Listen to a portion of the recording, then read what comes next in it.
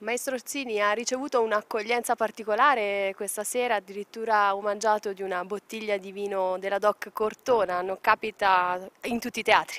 No, non capita in tutti i teatri, anche perché eh, ormai i teatri sono un po' dei luoghi anonimi dove passi e non c'è nessuno che ti accoglie come una volta, che c'è un direttore o un rappresentante o qualcuno, passi, vai nei camerini, fai lo spettacolo, vai via e nessuno ti viene come una volta ad omaggiare, questa volta invece un omaggio molto sentito e molto gradito, un, un vino preziosissimo, noi, eh, noi, abbiamo il rito del dopo spettacolo che in genere, mm, specialmente una compagnia come la nostra che non è numerosissima, ma comunque con sei persone che bevono il vino, quindi molto volentieri, questa sera lo dividerò con i miei compagni di, di avventure, saranno molto contenti. Poi mi conserverò la bottiglia che è molto bella.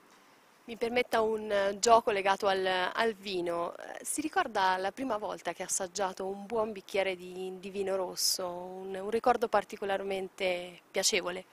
Ma non lo so, sa, guardi, io ho fatto tantissimi anni fa, sono il primo che ha fatto in televisione uno, una, un programma che si basava sul, sulla cucina, si chiamava Colazione allo Studio 7. Uh, eh, io sono un precursore direi di tutta la, uh, la moda poi che mm, è succeduta negli anni seguenti fino ad oggi con Masterchef, con tutte queste trasmissioni.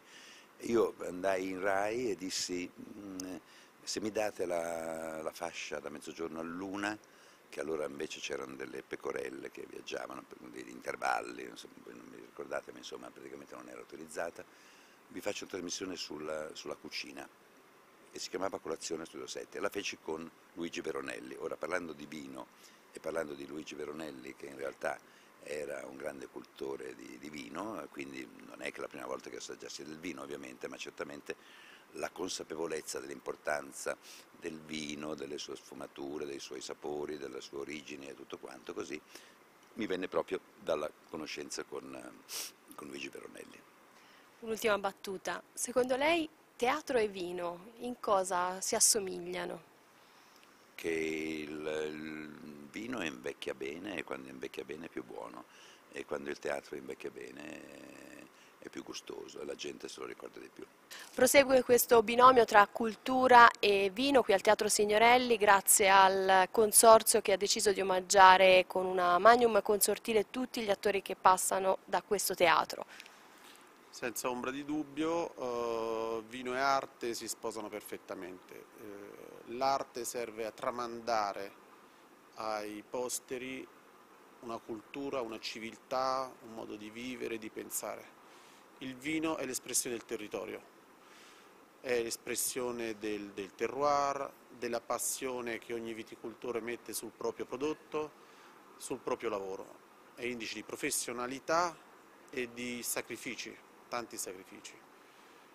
Cortona merita senz'altro grandi compagnie teatrali come quelle che abbiamo visto passare e che vedremo passare qui a Cortona, il vino sta riscuotendo un ottimo successo, le, le, esportazioni crescono, i punteggi sulle guide continuano a crescere, quindi penso che si possa andare di pari livello e di pari passo. Il lavoro di promozione continua, continuerà anche nelle prossime settimane, sarete anche a Firenze per un'anteprima importante. Non si può amare ciò che non si conosce, per fare conoscere bisogna fare promozione. E non ci fermeremo né oggi né, né, domani né mai, la promozione rimane uno dei, uno dei punti cardini assieme allo studio per continuare a fare passi avanti nella qualità dei, dei nostri prodotti e alla collaborazione tra tutti i vignaioli cortonesi e il territorio.